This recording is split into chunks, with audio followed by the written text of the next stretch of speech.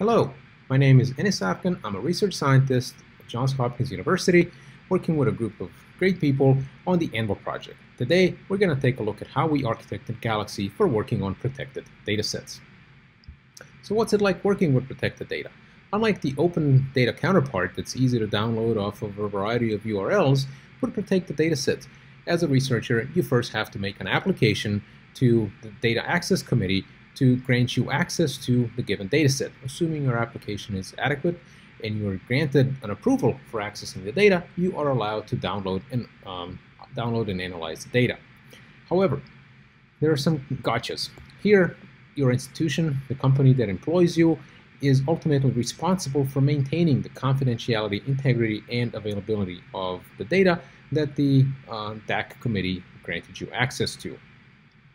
This comes with some ties as to what kind of environment the data is allowed to reside in. However, uh, it's an afterthought is not a good place to start here. You have to design the security into the chosen environment before you start downloading the data because the integrity of the data has to be maintained throughout its life cycle. So what does this look like? How do we design the security, the necessary security into an environment? Well, depending on where you live in the world, there are different organizations that will publish best practices on what it means uh, for data to be considered in a secured environment. In the United States, this is NIST, the National Institute of Standards and Technology, who publishes a document, one of which is 800, uh, NIST 853. Um, that's a book of uh, rules, guidelines, and checks that ensure that after you've implemented those, uh, your environment adheres to the set uh, best practices. Once you have this set of controls implemented in an institution, you can go and have it uh, uh, compliance verified, which carries another terms such as FISMA and, and, FedRAMP or HIPAA for dealing with human data. But overall, the basic uh, principle is that these are complex, time-consuming uh, efforts that require a lot of uh, money as well. And in turn, are inaccessible to individual researchers in most labs. So what are you as a researcher, as an individual researcher, to do? Well, this is where Anvil comes in.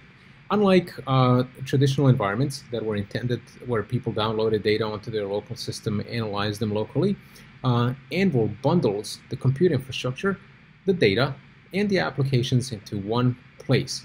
Hence, as a user, you're able to uh, get the data, get the necessary tools, and, and the infrastructure to operate on the data. Better yet, all this is surrounded in a compliance environment, in this case, FedRAMP. So anybody in the world can come and use Anvil uh, and get access to these tools, Galaxy being one of them. But what did it take to actually get Galaxy into this uh, environment and make it compliance uh, adequate, adequately compliant? So if we dissect uh, what is Galaxy, it's, it's for years now, it, accessibility, reproducibility, and sharing have stood as the three pillars uh, defining majority of sort of Galaxy.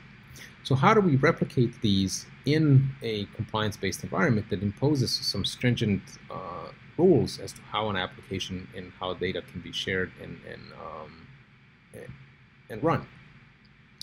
So for replicating accessibility, um, we maintain the, the browser-based access. So you go to the Terra portal for, for Anvil, so uh, anvil.terra.bio.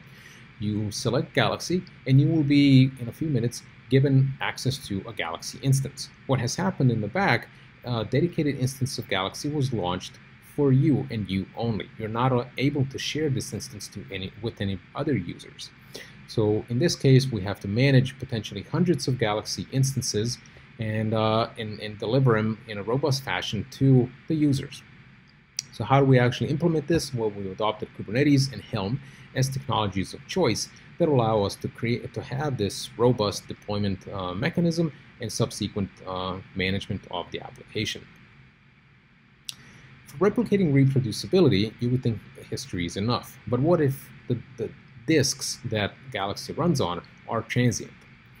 So here we had to architect Galaxy to first allow it to be in, to ingest data from um, Anvil itself. Anvil houses over three petabytes of interesting data sets. And so in Galaxy, you can now go browse these data sets from within the Galaxy interface, select the ones you would like to work on, and have them saved on persistent disks uh, within your own environment. So you can come back at a later time, recreate the same Galaxy environment, and hence uh, gain the benefits of reproducibility.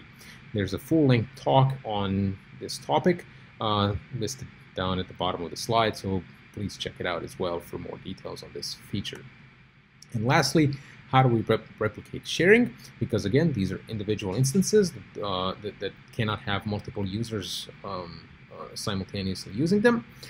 Uh, so we've enabled exporting of data to Anvil workspaces. The workspace has the capacity to then be shared with different users, hence who can then import data into their own Galaxy instances. Similarly, we've allowed exporting of methods or workflows into Dockstore as a repository of methods uh, that also implements sharing capabilities and uh, and users can then import those histories in their own uh, environments.